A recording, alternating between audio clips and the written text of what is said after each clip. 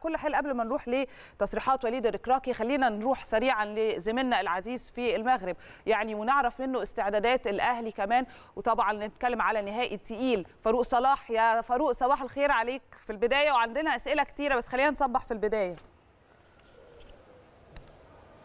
صباح الفل يا نهود صباح الفل يا كريم وصباح الفل على كل مشاهدينا ومشاهدة ومتابعي شاشة قناة النادي الأهلي في كل مكان. ويا رب بنظرة تفاؤل وابتسامة تفاؤل إن شاء الله. يوم يكون سعيد على كل جماهير النادي. الأهلي والجماهير المصرية بإذن الله. يا رب يا فاروق. وخليني أروح معاك للنقاط اللي أنا وكريم حابين نستفسر منها وبعد كده هنترك لك طبعا كل الوقت إنك يعني تفيدنا بكل المعلومات اللي عندك. مبدئيا عايزين نطمن منك عن قصة التذاكر. حتى هذه اللحظة لسه ما بنتكلمش في 10000 تذكرة زي ما الكاف أعلن قبل كده إنه من حقنا.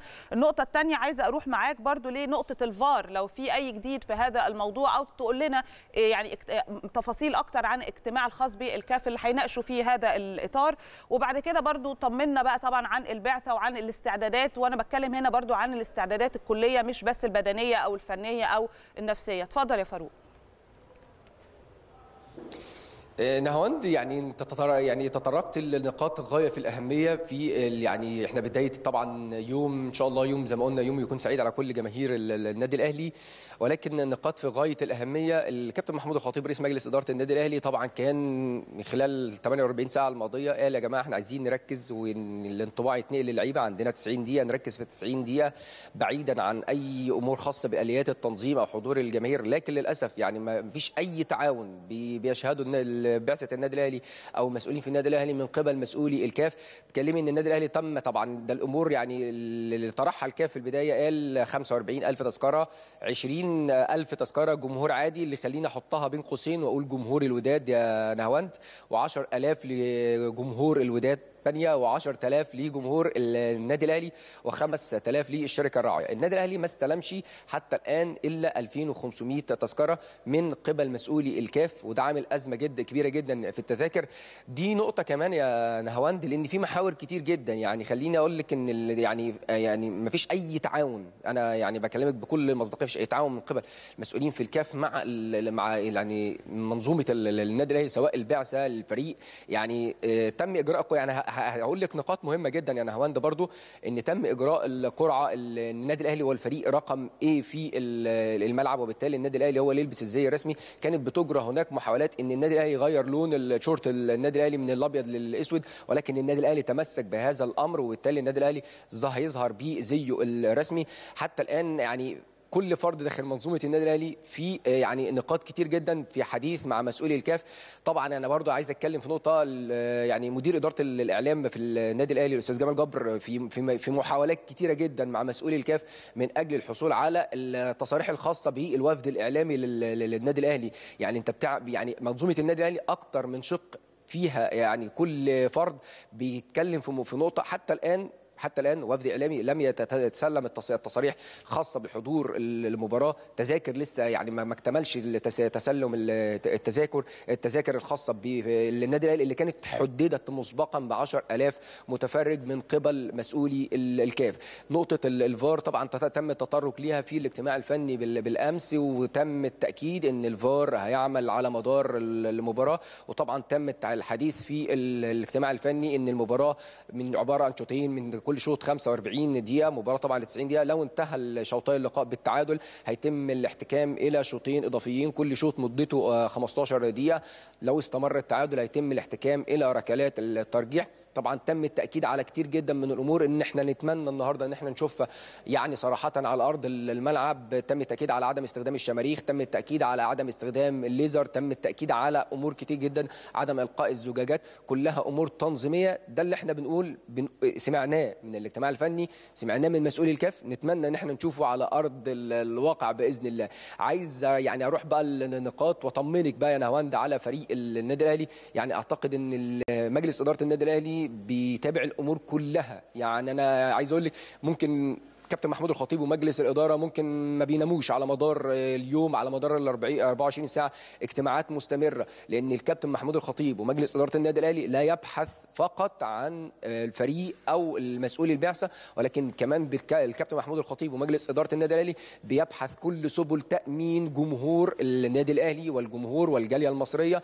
أمر ليس متعلق بفريق فقط ولكن متعلق بكل الجماهير بكل الأفراد بكل من ينتمي لجمهورية مصر العربية في هذه المباراه فمسؤوليه كبيرة جدا اجتماعات مستمرة. الجميع بيحاول كمان إن هو يفرغ الجو بالنسبة للاعبين إن اللعيبة تركز في ال 90 دقيقة. ده المنتظر واللي إحنا بنستناه إن شاء الله إن اللعيبة يكون معانا توفيق ربنا سبحانه وتعالى في هذه المباراة. بروح اللعيبة بالتفاؤل اللي إحنا بنشوفه باللي لامسينه وأنا هوند في أرض الملعب في التدريبات بالتدريب اللي تم إجراؤه بالأمس على ملعب مركب محمد الخامس يعني حالة الروح اللي إحنا شايفينها والحماس اللي عند اللاعبين.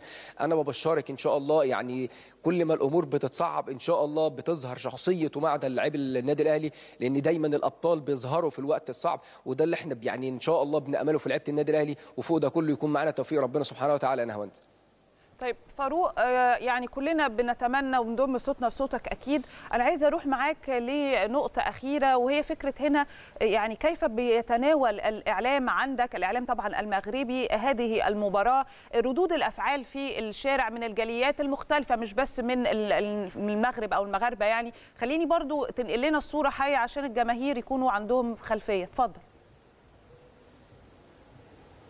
يعني خليني أقول لك نهواند يعني قبل ما تتطرق لهذه النقطة إن بالأمس يعني يعني الاحد بالأمس تم وصول جياني أنفنتينو وباتريس موتسيبي. جياني أنفنتينو رئيس الاتحاد الدولي لكرة القدم وباتريس موتسيبي رئيس الاتحاد الإفريقي لكرة القدم إلى الدار البيضاء طبعا لحضور المباراه وهيعقدوا اجتماع للمكتب التنفيذي يعني خلال ساعات مع بداية هذا اليوم. بالأمس طبعا كان المؤتمر الصحفي لبيتسو موسيماني والكابتن محمد الشناوي وأيضا وليد الرجراجي وأحمد التجناوتي حارس مرمى فريق الوداد. الإعلام المغربي بيعرف قيمه قيمه وأهمية النادي الأهلي.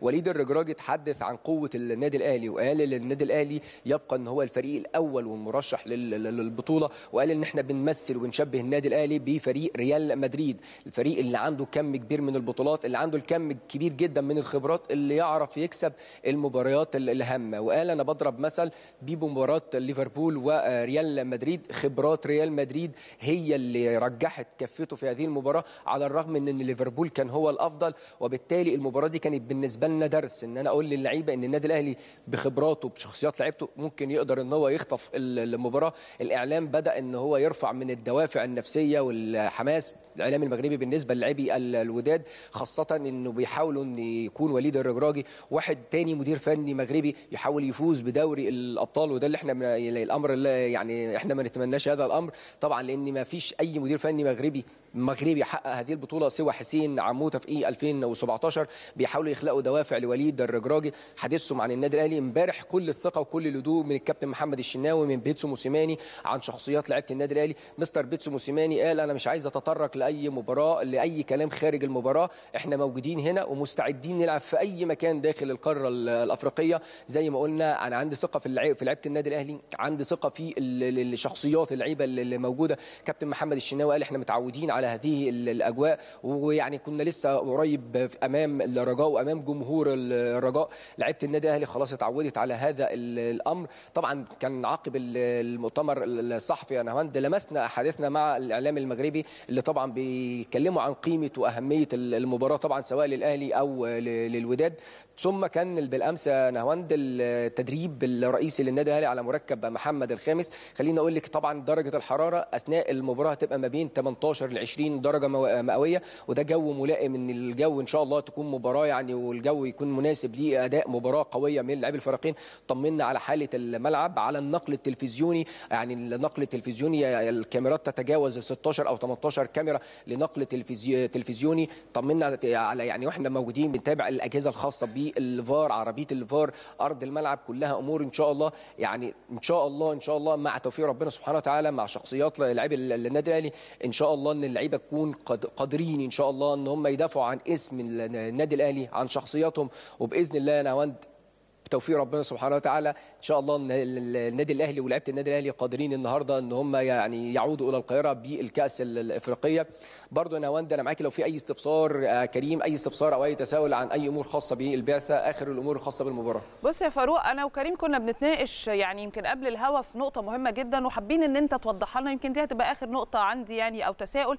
آه، إحنا كنا بنتكلم عن فكرة هنا ال- العلاقة الطيبة ما بين الشعبين وإن الموضوع حتى وإن كان في بعض الأمور الغريبة آه، اللي حاصلة لصالح النادي الأهلي أو ضد النادي الأهلي بمعنى أصح يعني من قبل الكاف. فالكاف ده قضية أخرى. فعشان كده أنا عايزاك تنقل لنا الصورة وأنتوا بالبعثه يعني بتتجول لا- لا- الناس المحيطة بفندق الإقامة أنت نفسك لما بتنزل التعامل إزاي مع ال- الأشقاء المغاربة؟ يعني دي الروح اللي أنا بقى عايزة إن إحنا نفصل وعايزة إن أنت تحكيها لنا بشكل يعني مباشر. اتفضل. أثرت نقطة في غاية الأهمية. نهاوند ودي النقطة اللي يعني كان في بداية كلام الموضوع في البداية خالص الكابتن محمود الخطيب. اللي لما الكابتن محمود الخطيب ومجلس إدارة النادي الأهلي اتكلم قال إن الأمور اللي النادي الأهلي بيتكلم فيها هي أمور أو حقوق للنادي الأهلي مع الاتحاد الأفريقي. ليس الاتحاد المغربي أو الشعب المغربي الطرف في هذه الأمور. هي هي أمور أو يعني أمور تنظيمية أو حقوق ما بين ال- الأهلي والاتحاد الأفريقي. أعتقد النادي الأهلي بيطالب بحقوق لدى الاتحاد الأفريقي. ليست الأمور متعلقة بالشق الجانب المغربي أو النادي ال- الوداد. وده اللي بنأكد عليه وبيأكد عليه مجلس إدارة النادي الأهلي. العلاقة الطيبة اللي ما بين الشعب المصري والشعب المغربي. إحنا لما بننزل بنقابل بعض الجماهير من جماهير الوداد أكيد طبعا بيتمنوا الفوز لفريق الوداد أثناء تجولنا أو تحرك الحافلة من مقر الإقامة إلى فندق ال- إلى ملا- ملاعب التدريب بنقابل جماهير الوداد. طبيعي إن هي بتشير بعلامات ال- النصر طب- طبيعي إن هي بتتمنى طبعا ال- الفوز آه، لفريق ال- ال- الوداد.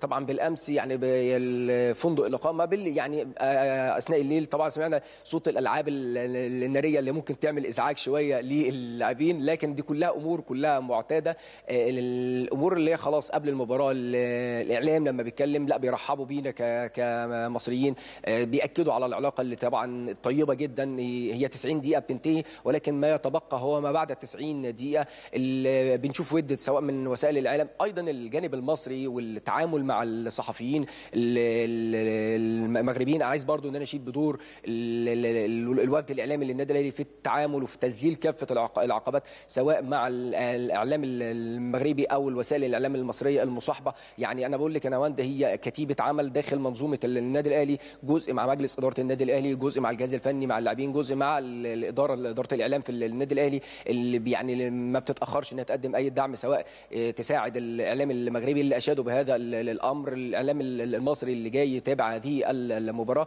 أنا بأكد طبعا وكلنا بنأكد طبعا على العلاقة الطيبة طبعا ما بين الشعب المصري والشعب المغربي. دي يا نهاوند ليست نقطة الطرف ال- الحديث أو الكلام هي أمور متعلقة ما بين النادي الأهلي ال- الأفريقي زي ما قلنا بنتجول في الشوارع ال- ال- ال- المغرب. آه في تأمين كامل لبعثة فريق ال- ال- النادي الأهلي لكن نتمنى إن شاء الله إن الصورة الجميلة والمشهد الجميل ده يا نهوان يكتمل النهارده في المباراة وإن جماهير الوداد تقدم صورة طيبة جدا الجمهور المغربي. وبنقول لك كمان برضو الجمهور المصري الاثنين يقدموا آه، صورة جميلة جدا النهارده. نشوفها بدون استخدام شماريخ بدون استخدام ليزر بدون إلقاء زجاجات خلينا نتفرج على مباراة خلينا نتفرج على 90 90 دقيقة جماهير ال- ال- المغرب يأكدوا ويرسموا الصورة ونكمل الصورة اللي بتجمع ما بين الشعب الشعب المصري والشعب المغربي لأن هو ما يبقى 90 دقيقة بتنتهي يا نوان وما يبقى ما بعد 90 دقيقة. صحيح كلامك مظبوط جدا وإن شاء الله ترجعوا لنا منصورين ومنتصرين يا فاروق. بإذن الله سلامنا لكل البعثة اللي عندك وكابتن محمود الخطيب وكل أعضاء مجلس الإدارة